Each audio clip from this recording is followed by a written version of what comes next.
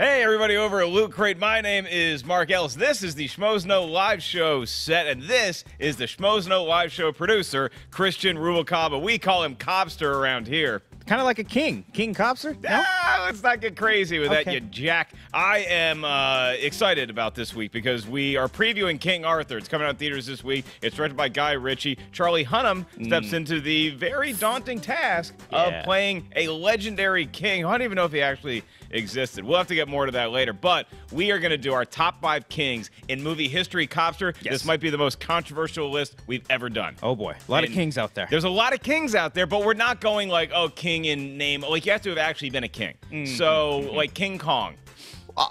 they kind of call it. He's, a king of the. No, that's Tarzan. He's more like an emperor. Yeah, okay. I'll take So that. yeah. we're not going to go King Kong, sorry. Uh, but we are going to go with an all-time classic of movie I'm betting Copster has not seen. That would be Richard III, way back in the 50s, with Sir Laurence Olivier. No. Oh, dude, it is so good because the speeches. Sir Laurence Olivier is one of the greatest actors of all time, Hmm. and the guy loves to act. That's why he's considered a great. Is it? He's not doing it quietly. He is loud. He is boisterous, and it's a great portrayal of Richard III. It's an all-time classic. Y'all should check it out. When I say y'all, I mean you. I should check it out. Yes. We move on to number four, which is my favorite take on King Arthur to date, and that is going to be a comedic twist, the funniest movie I've ever seen in my entire life Monty Python and the Holy Grail. King Arthur, Yeah. played by none other than Graham Chapman. I have seen this one. Yes. I've seen this one, and it's a funny one as well because you get a lot of these times, a lot of these serious king movies where someone's, Mm-hmm. you know, in power and doing all the things. This is a, a really funny spin on it. It is just so fun. I mean, you- you're acting like you don't think the movie's that funny, though. The movie's pretty damn funny.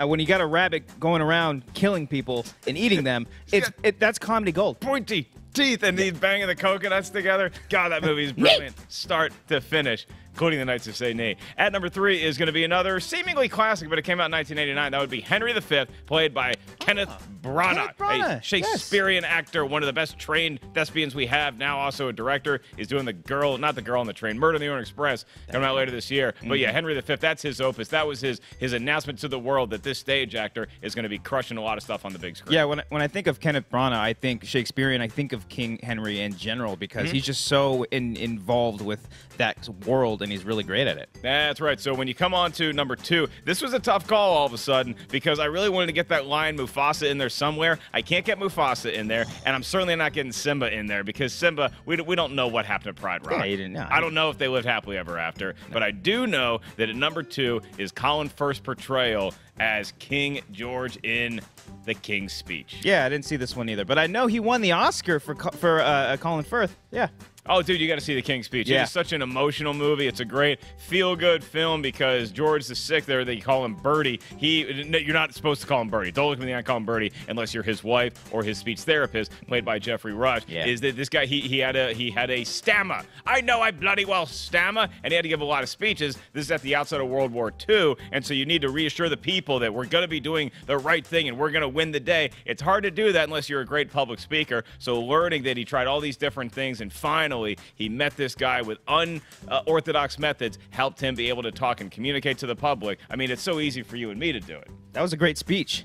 Thank you very much. At number one is going to be the return of the king. The king who didn't want to be the king necessarily. He even changed his name to Strider at one point, but Aragorn in one of the greatest trilogies of all time. Return of the king is when we finally put the crown on the right head. No, absolutely. Especially the journey you see from. I have seen Fellowship of the Rings Oh, and good Two for you. Towers. I've seen all those. Yeah. Uh, the journey that you see with his fellow fellowships, I guess, Mm-hmm. uh, all the way to Return of the King is really, really great. And look, I mean, this guy is a badass all around, and he's just he's one of those badasses that's not trying to be. He's an all around good guy as well. Yeah, now look, you see, you know what? A hell of a nice guy. He's a nice guy. Uh, we missed a lot. There, there's a lot of kings that are out there that I'm sure you guys are typing on your computers that and letting us know, hey, I don't agree with this, or maybe you're using your smartphones. King Ghidorah. Uh, King Ghidorah. Come on. King Ghidorah is great. Come on. Um, the, the King in Excalibur. There's a King Arthur in Excalibur who's Okay. awesome. I'm gonna throw some comedies at you. King Ralph. John Goodman. No. Crickets. How about this? Spaceballs. King Roland. Okay, there you go. Played Yeah, by like Dick that. Van Patten. I like that. There's a lot of great kings in there. Did I miss any?